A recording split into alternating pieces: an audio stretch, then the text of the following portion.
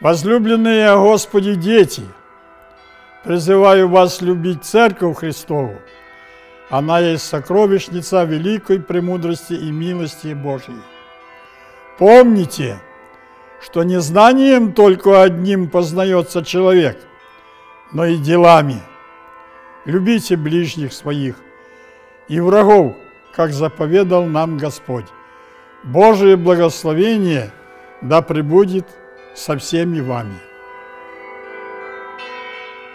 Мы сборная Крыма номер два, и мы носим название «Дети Святой Земли». Хорошо, спасибо. А скажите, пожалуйста, как вы готовились к международному этапу телеконкурса «Терной истины»?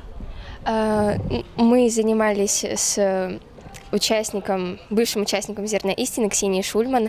Она наш куратор, э, она проводила тренинги с нами, мы отвечали на вопросы, на разные вопросы. Также смотрели игры за прошлые года, а также отвечали на вопросы из базы э, вопросов. Большое спасибо. Ну и, наверное, такой а, последний вопрос, наверное, более интересный, да.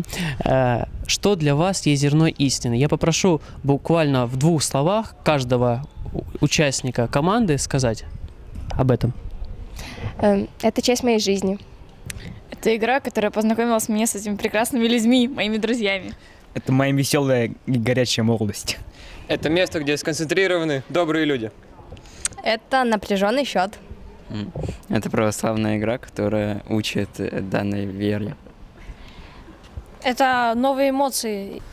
Уважаемые телезрители, мы продолжаем серию игр 11-го международного конкурса знатоков православной культуры «Зерно истины», в котором принимает участие 18 команд, и сегодня мы знакомимся с командами школьной лиги. Мы уже повстречались с первой сборной Крыма «Верой Вечной», а теперь сборная номер два «Дети Святой Земли». Так решили они назвать себя, пометуя о том, что Крым есть земля святая для каждого русского православного человека.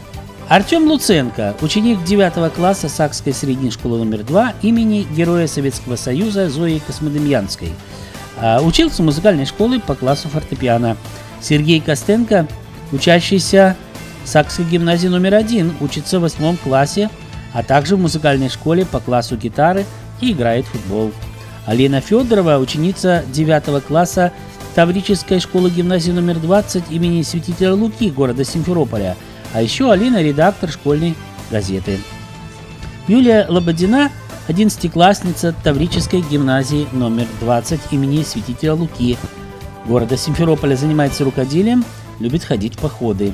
Тихон Бородин – одиннадцатиклассник Таврической школы гимназии номер 20 имени святителя Луки, увлекается радиоэлектроникой, рыбалкой и туризмом. Полина Луценко учится в Сакской средней школе номер один в 11 классе. Она президент ученического самоуправления города Саки. Ну а сейчас я хочу представить капитана команды, это Александр Полищук, ученик 9 класса Таврической школы гимназии номер 20 имени Святителя Луки, города Симферополя, участник Всероссийского военно-патриотического движения «Юнармия», активист общественного движения «Волонтеры Победы». Хочу пожелать нашим знатокам удачи, Бог вам в помощь. Объявляю счет 0-0. И первый вопрос выберет для своей команды Артем Луценко.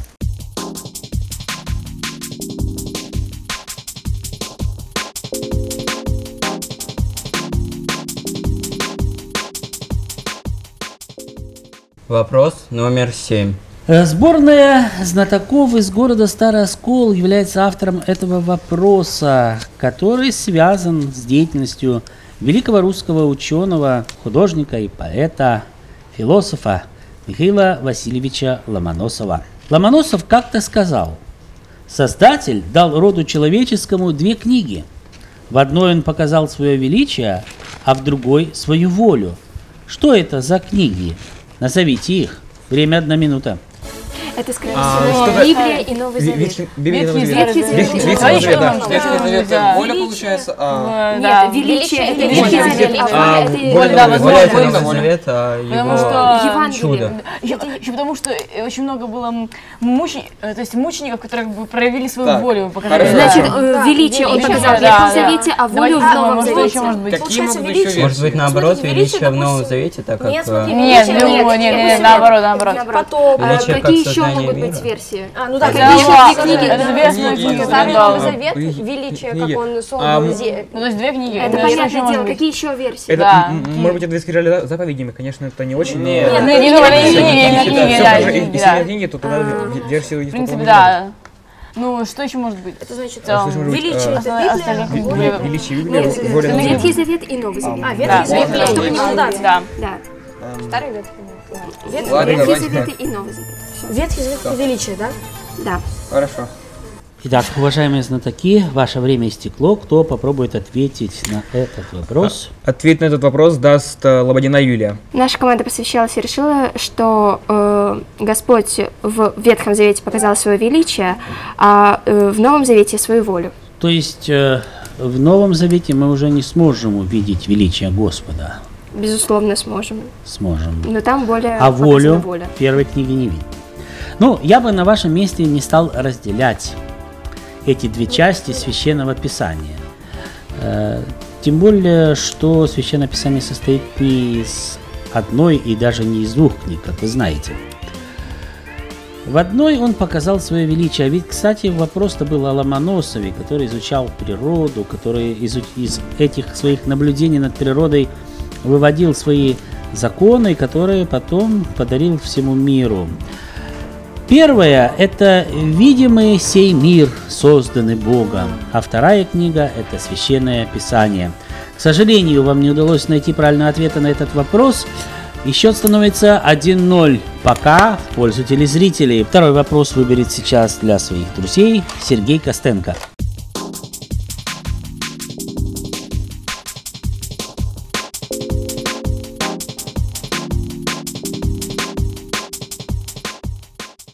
Вопрос номер четыре. Один за всех и все за одного. За столом останется Лободина Юлия.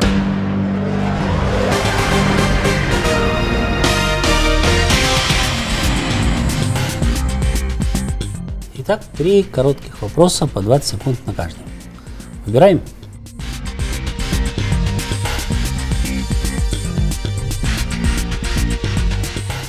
Какое твое любимое стихотворение?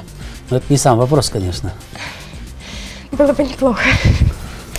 Ну, Мне очень нравится стихотворение Александра Сергеевича Пушкина э, «Если жизнь тебя обманет». Напомнишь нам первые строчки его? «Если жизнь тебя обманет, не печалься, не сердись». Возьмем за правило. А почему я задал такой вопрос? Потому что следующее задание немножко будет в стихотворном виде. Сразу дам задание. Нужно сказать будет, о ком эти строки стихотворные. «Блажит тебя, святая Русь, великий княже, прочерк, внимая сказанным словам, не в силе Бог, а в правде. В победах правду доказал, что смог поверить Богу, а в схеме Алексием стал. В молитвах ты всегда приходишь на подмогу. Время. Блажит тебя, святая Русь, великий княже, Внимая сказанным словам, не в силе Бога в правде. В победах правду доказал, что смог поверить Богу, а в схиме Алексеем стал. В молитвах ты всегда приходишь на подмогу. Ну, в победах правду доказал. Не в силе Бога, в правде. Великий князь Святой Руси. Никого не вспоминаешь? Единственное, что приходит на ум, это Ярослав Мудрый. Там бы что-то о мудрости этого князя было бы. А вот великим князем, который много раз побеждал именно как полководец, освобождал Отечество наше, тут даже в рифму подходит. «Ложит тебя, святая Русь, великий княже Александре, внимая сказанным словам, не в силе Бог, а в правде. В победах правду доказал, что смог поверить Богу, а в схиме, может Александр Невский принял монашество, э, и причем был схимником э, с именем уже Алексей. Ну что же, ребят, давайте поможем вашему товарищу. Она волновалась. Счет пока 2-0 в пользу телезрителей, но у вас еще есть целых 5 вопросов для того, чтобы не просто их догнать, а и победить. Чего я вам и желаю. Третий вопрос для своей команды выбирает сейчас Алина Федорова.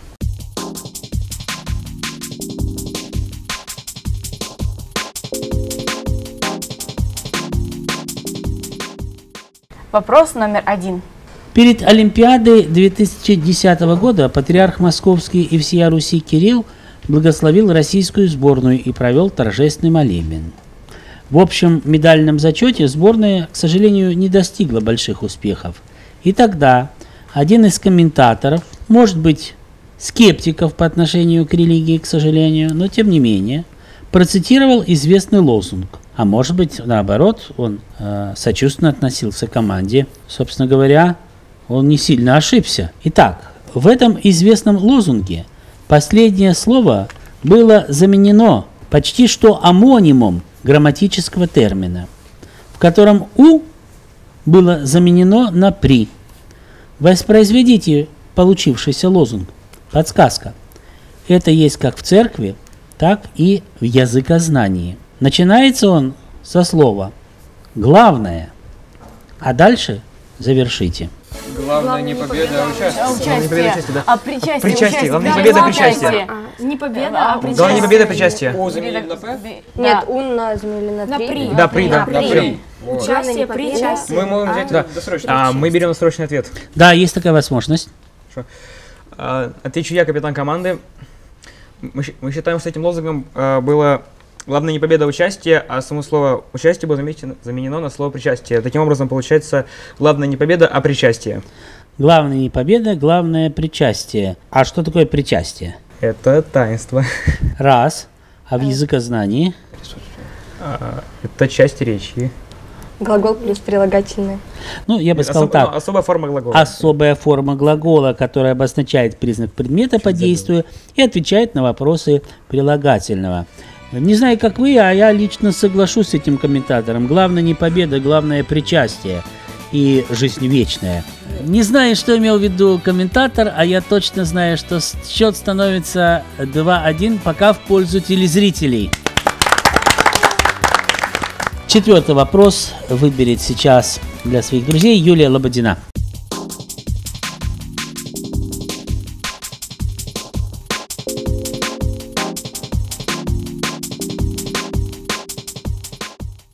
Вопрос номер два. Встречаем выносной вопрос.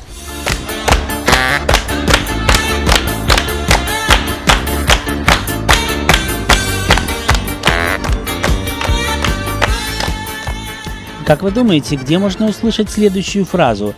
Осторожно, двери закрываются. Следующая станция Новослободская. В метро. Конечно. А теперь представим, что мы выходим на этой самой станции Новослободская и идем по ней.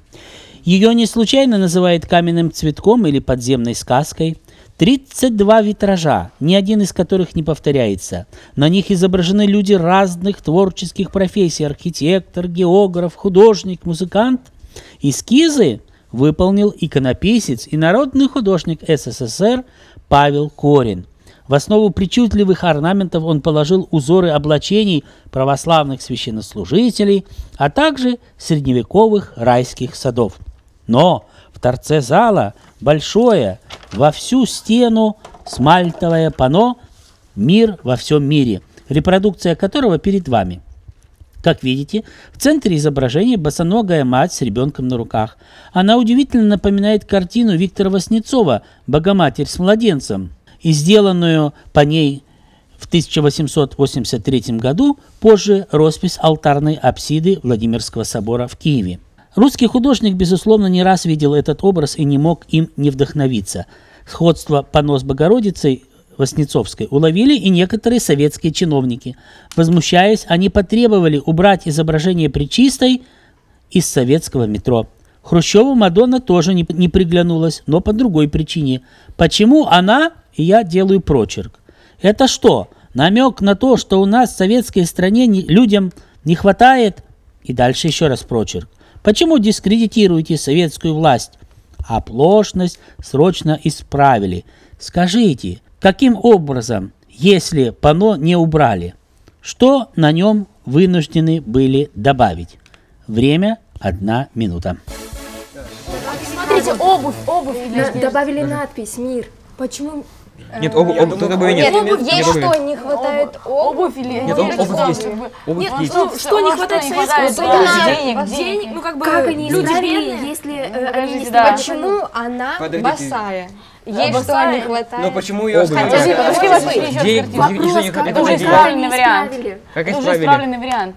Дайте- Скорее всего, Это, не это добавили может быть надпись. неисправленный Это не вариант. исправленный Нет. вариант. Не, не, Это не. не исправленный Можно вариант. Это, Это это исправленный вариант. Это А что если добавили вам надпись? Там э, не было надписи «Мир», а Может, добавили не «Мир». хватало одежды какой-нибудь там, чулков Она называется одежды. «Мир» во Да, мире, может- но возможно, что сама одежда. Скорее всего, эту надпись и добавили. Так а Возможно, почему она... Почему ей Они, не картина ведь называется «Мир во всем что, не мире». хватает И надписи? Тем более, при чем здесь это? Обуви может Дай. не Да хватает. нет там обуви. Ну, так ее добавили. Головной там, Минуту дополнительного. одежда. А, да, да. А, мы же не ответили. Мы же неправильно ответили. Нет, мне кажется, что А, мы правильно можно ответили. Ответить про... минуту. Уважаемые знатоки, время для обсуждения истекло. Капитан команды Александр Полищук. Кто попробует ответить на этот вопрос? Э, На этот вопрос даст ответ э, Полина Луценко. Мы с командой посоветовались и э, считаем, что тогда сказали, почему она босая, ей что не хватает обуви, и поэтому э, конечному итогу ей э, добавили э, ну, саму обувь. И никаких претензий больше не имели. К сожалению, претензии были. Несмотря на то, что эту мозаику несколько модернизировали, из ЦК последовало распоряжение мозаику убрать. Но авторы проекта Новослободской пошли на риск и спасли великую работу великого мастера Корина. Снаружи панно загородили облицованной мрамором фальшивой стенкой. И лишь после смещения Хрущева в 1964 году мозаика вернулась на свое место, а нарисованные на ней подобие древнеримских сандалий смыли. И теперь она в первозданном виде. Счет становится 2-2, ничья. Но вот кто, если не вы, должны были ответить на этот вопрос? Кто, если не мы? Говорят вокалистки ансамбля «Соловушка» в своей новой песне.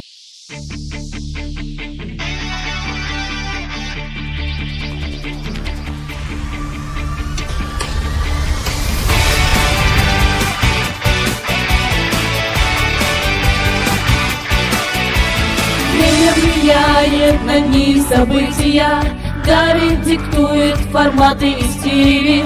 Мы на пороге большого открытия Сильной, свободной, богатой России. Время менять, обещания строптивые. Но это сделано здесь и сейчас.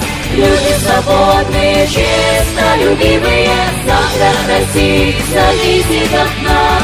Кто, если не мы, сила поколения Кто, если не мы, научное мышление Кто, если не мы, прорыв десятилетия Кто, если не мы, на годы, на столетия Кто, если не мы, единая команда Кто, если не мы, науки, пропаганда Кто, если не мы, заставили быть сильны Кто, если не мы, свободная Россия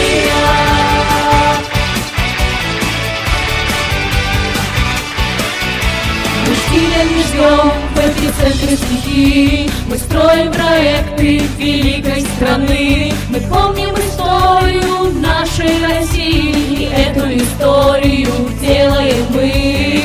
Дерзко, уверенно, смело, логично Общие идеи и цели верны. Легко нам не будет, и это отлично.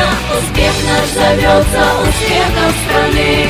Кто, если не мы, сила поколения. Кто, если не мы, научное мышление? Кто, если не мы, прорыв десятилетия? Кто, если не мы, на годы, на столетия? Кто, если не мы, единая команда? Кто, если не мы, науки, пропаганда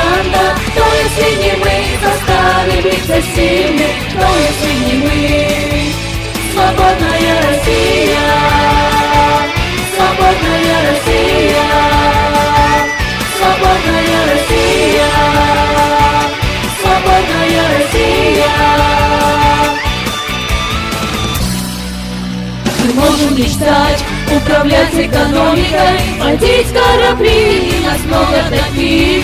Холодный рассудок и четкая логика, мы этим горды. научим других. Кто если не мы, сила поколения, кто если не мы, научное мышление, кто если не мы, прорыв десятилетия, кто если не мы, наклоны на столетия, кто если не мы, сильная команда, кто если не мы, науки пропаганда, кто если не мы, заставим лица сильных, кто если не мы, свободная Россия,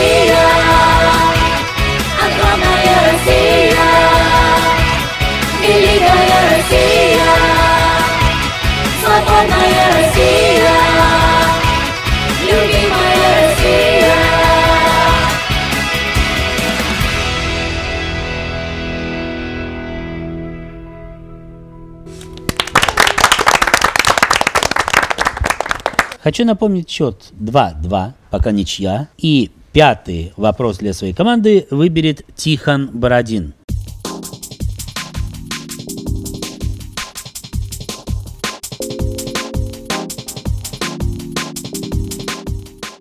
Вопрос номер 11. Сушко Виктор Петрович из города Евпатории задает вам свой вопрос. Митрополит Вениамин Фитченков вспоминал, губернатор, хотя его фамилия была явно немецкая, но он был хорошим православным, часто подходил к иконе Божьей Матери, стоявшей в его кабинете и на коленях молился. Видя неизбежный конец, он захотел исповедоваться перед неизбежной смертью, но было уже поздно. Его личный духовник, прекрасный старец Патрей Лисоклинский, не мог быть осведомлен, времени оставалось мало. В это время толпа ворвалась уже в губернаторский дворец. Дело было во время февральской революции 1917 года. Но он все же смог поисповедоваться перед самой своей кончиной. Речь идет о тверском губернаторе Николае Георгиевиче фон Бюнтинге, ставшей первой жертвой, кстати, февральской революции 1917 года. Виктор Петрович Сушко спрашивает, как же смог поисповедоваться этот человек? Время. Он это сделал по телефону. По телефону. телефону, А, да, Были ли да, тогда телефоны в то время? Тогда- тогда телефоны были уже. Очень умно. телефоны были. Потому что... Что они по были на телефону. расстоянии. А По телефону нельзя, а по телефону это нельзя. икона, Всё, подождите, можно перед иконой, потому что... Нет, да. Это было точно по телефону, По телефону, отвечаю. хорошо. Думаешь, А, да, давайте батюшка, сидел дома, он позвонил. Да, возможно. Вот, вот. Сам этот губернатор Он- позвонил и исповедовали. толпой было. Ну, в смысле, что как бы Что? перед перед людьми. Ну, как они Вот батюшка это позволял. что успеем. Знаешь, уже не успеваем. нет, Давайте да. Леонтиду вешайте дальше, давайте дальше думать еще. Ну, мы сделаем Так, хорошо. Они были на Не расстоянии. он не мог, мы- Батюшка Он не мог по быть телефону. Это, по-моему, единственный случай, э, Когда как- разрешала, когда разреш- р- была когда, разрешена исповедь была по телефону. Да. Думаешь? Хорошо. Не как не, не по-другому. Ладно, допустим, давайте хорошо. Пускай так. Итак, э, уважаемая команда, будет ли ответ у вас на этот вопрос? А, и на этот вопрос отвечу я, капитан команды. А, наша команда считает, что исповедь была совершена по телефону. 3-2 в вашу пользу.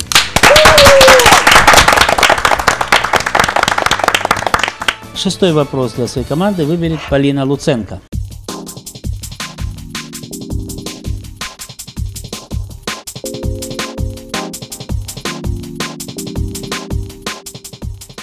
Вопрос номер 10. Ярослав Егоров из города Симферополя задает вам свой вопрос. В конце 80-х годов 20 века во время служения ныне митрополита Симферопольского и Крымского Лазаря в Аргентине на площади Чаркас в городе Буэнос-Айрес был освящен памятник нашему выдающемуся соотечественнику. Какому юбилейному событию было приурочено освящение этого памятника в столице католической страны Аргентины, городе Буэнос-Айрес? Время? Вот, это был путешественник? Владимир. Нет, Владимир, да. Князь Владимир. Почему? в Тысячелетие крещения Руси, юбилея? 80-е годы, конец 80-х. 80-й Возможно, год. скорее всего, Там да. говорилось 50 год вроде... какого века? Это 20 20 век, век. 80 Подождите, там говорилось про соотечественника, нет? 20 Соотечественник, 1900 ну, Да. Ну, соответствует. Россия. Это соотечественник? Да, Смотри, это князь А есть в подумал, Аргентине... мол, В честь какого юбилея? а, Тысячелетие крещения Руси. А вообще там есть такой... В смысле, есть там такой памятник, уверена там? Памятник, Думаю, да, есть. конечно, есть. Э, События в католической Аргентина. стране. Это была как бы Католическая страна, но Католическая страна, хорошо. А возможно, это какой-нибудь там тот же... Э, христиане. Да, христиане. Ну, там хорошо. католическая страна. Хорошо, это э, событие, это тысячелетие. Юбилей на тысячу лет. Ну, Что в этом такого тысячелетие. католического? Возможно, что какой-нибудь там Климент Рип, а, в а может, Папа Римский, может, Почему кто-то же- Климент. Потому что он там служил в памятник Аргентине. Может, кто-то В Бадуин 80-х Римский, годах 20 Ну, там, э, в Аргентине в Аргентине. нашла. Да без разницы. Значит, это тысячелетие крещения Руси. Что-то я не уверен. Ну, Вообще не Какие еще версии могут А ты что думаешь? Ваше время истекло. Капитан команды Александр Полищук. Кто ответит? На этот вопрос даст ответ Лободина Юлия. Уважаемый ведущий, можете повторить, пожалуйста, вопрос? Какому событию было приурочено освящение памятника в городе Буэнос-Айрес, э, столице Аргентины, католической страны? Мы считаем, что памятник был освящен в честь тысячелетия крещения Руси. Впоследствии владыка Лазарь вспоминал, что когда передо мной стал вопрос, каким же должен быть памятник, я вспомнил, что видел прекрасное изображение, прекрасный памятник напротив Даниловского монастыря, напротив резиденции отдела внешних церковных сношений, который курировал деятельность зарубежных приходов Русской Православной Церкви. Это был памятник, который сейчас стоит в городе Буэнос-Айрес, такой же памятник есть в Москве, памятник святому равноапостольному князю Владимиру. Посвящено это тысячелетию крещения Руси. Счет становится 4-2. Ну что же, э, сейчас вам предстоит дать ответ на итоговый вопрос, э, вопрос номер 7. Выбирать его не придется. Это будет вопрос на заданную тему, который подготовили для вас ваши друзья, знатоки православной культуры из Старого Оскола. Внимание на сценическую площадку. В маленькой церквушке только что закончилось богослужение. Все спешили домой. Одной девушке предстоял неблизкий путь. Какая прекрасная сегодня была служба. Но жаль, что я так редко могу приходить в этот храм. Но вот с погодой я что-то совсем не подрасчитала. До дома далеко, а дождь начинается. И я боюсь, что я промокну. Привет. Привет. Привет. Как дела? Хорошо, вот иду со службы. Дождь начался, а я сейчас промокну, а до дома далеко. Мы бы тебе помогли, да у нас зонтик маленький. Ты лучше помолись Богу, он тебе поможет. А мы пойдем. Господи, помоги мне. Привет. Привет. Как дела? Хорошо. Я вот иду со службы. До дома далеко, а я замерзла и есть так хочется. Тебе что-нибудь нужно? Мы поможем. А, ты кушать хочешь? Мы помогли. Правда, мое яблоко. Почти кончилось. И мороженого что-то не осталось. Помолись лучше Богу. Он обязательно поможет. Не волнуйся.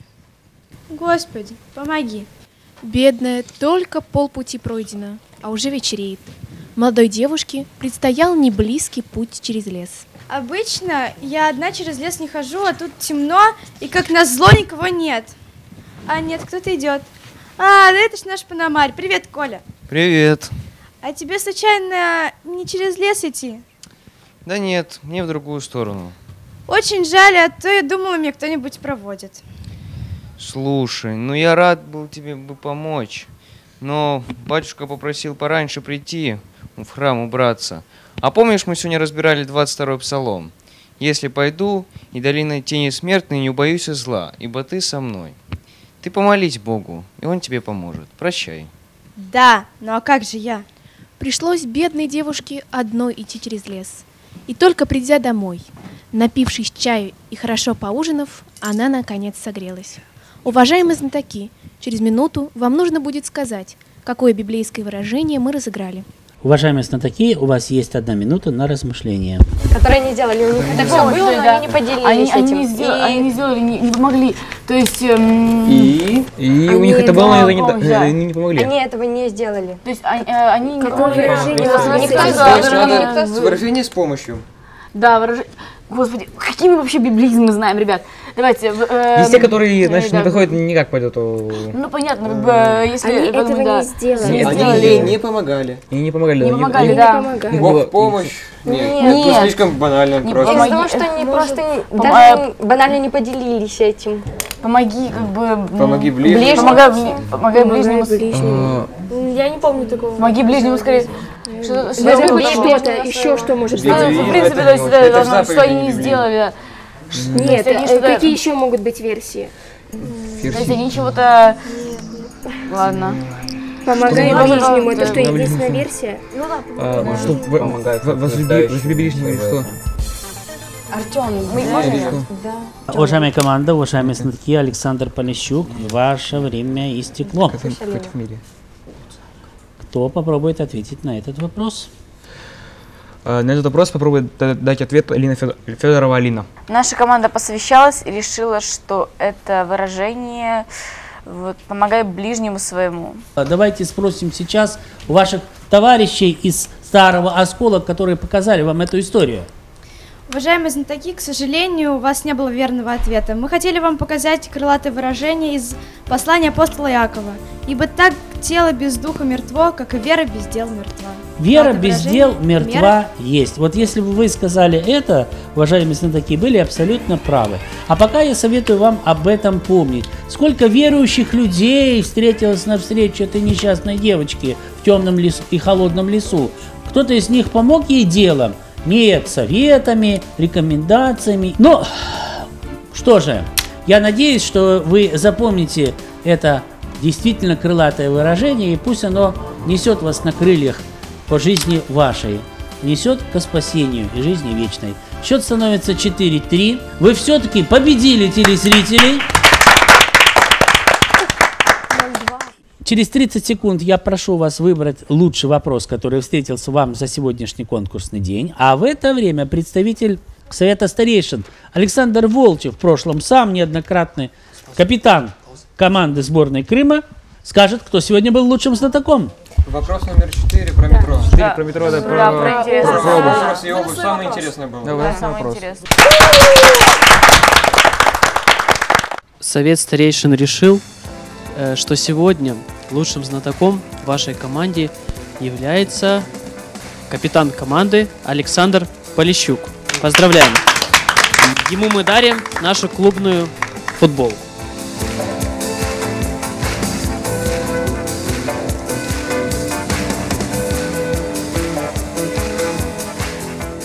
А также хочется отметить э, вашего умного знатока Юлию Лободину и подарить ей книгу э, об иконе Богоматери Адегитрии Тихвинской. Мы должны помнить, что всегда находимся под ее покровом, под ее защитой. Пусть она оберегает вас и хранит на вашем жизненном пути. И поэтому не стоит так волноваться в сложных жизненных ситуациях, таких как один за все и все за одного, не так ли? Александр, вы в прошлом э, были капитаном команды сборной Крыма, и вот сейчас сборная Крыма сидит здесь за столом. Что вы чувствуете сейчас? Какой-то эффект дежавю, может быть, или что-то иное? Волнение. Волнение, наверное, за ребят, потому что когда-то мне тоже пришлось представлять э, команду, отвечать, нести ответственность за э, игру сборной Крыма. Вот. И, конечно же, это очень ответственно, очень волнительно. Уважаемые знатоки, э, вам предстоит сказать, какой же вопрос понравился вам сегодня больше всего. Для нас самым интересным вопросом был вопрос номер 4, точнее выносной вопрос. Уважаемые телезрители, на сегодня мы завершаем свою встречу с командой сборной Крыма, но не завершаем еще свое путешествие по страницам 11 международного конкурса знатоков православной культуры «Зерно истины». Напомню, что, как всегда, наши э, знатоки ждут ваших новых вопросов, которые просим присылать по адресу Российская Федерация, Республика Крым, город Симферополь, почтовый индекс 295-011, улица Героя Аджимушкая, 9, дробь 11, редакция конкурса «Зерно истины». На нашем сайте знатоки.artox.ru вы сможете узнать, э, какие же вопросы, в какой форме лучше подавать, чтобы они совпали э, с форматом нашего телепроекта. А также сможете подготовиться э, со своими командами к участию в аналогичных конкурсах в своей школе, в своем городе, в своем высшем учебном заведении. И, может быть, приехать к нам на следующий год для участия в межрегиональном и международном конкурсах. Напомню, что наш телепроект подготовлен Симферопольской Крымской епархией совместно с Министерством образования Республики Крым, телеканалом «Первый Крымский» при поддержке Фонда президентских грантов Российской Федерации. Через неделю мы познакомимся с еще одной командой школьников из города Керчь. А на сегодня больше вопросов нет. До новых встреч. Ангела-хранителя всем вам. До свидания.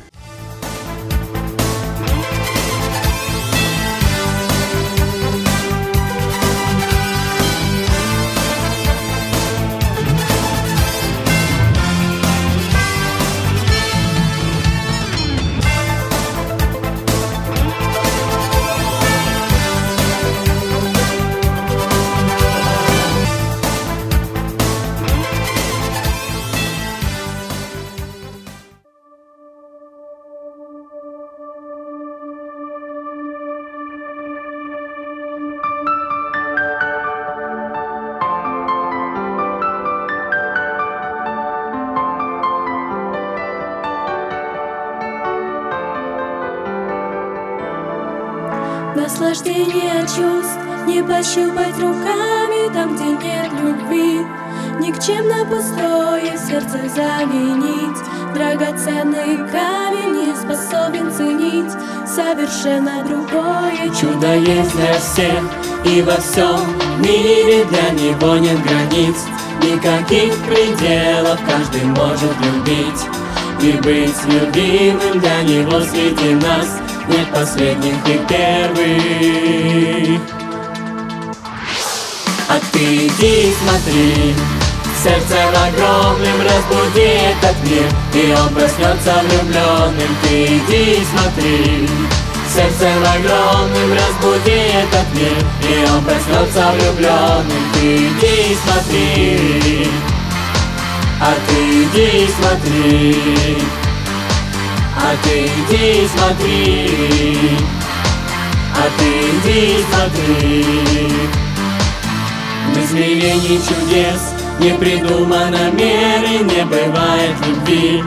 Большой и малой пусть случится в свою Абсолютную веру. Так пусти глубоко Чтобы прорастало чудо. Есть для всех И во всем мире для него нет границ Никаких пределов каждый может любить. И быть любимым для него среди нас Нет последних и первых. А ты иди смотри Сердцем огромным разбуди этот мир И он проснется влюбленным. Ты иди смотри Сердцем огромным разбуди этот мир И он проснется влюбленным. Ты иди смотри А ты иди смотри А ты иди смотри. А ты иди смотри.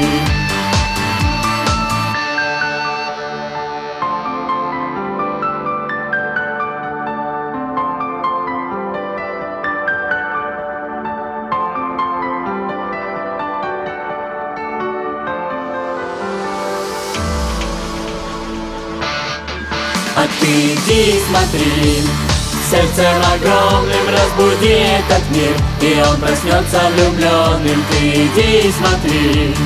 Сердцем огромным разбуди этот мир И он проснется влюбленным. Ты иди смотри. А ты иди смотри. А ты иди смотри. А ты иди смотри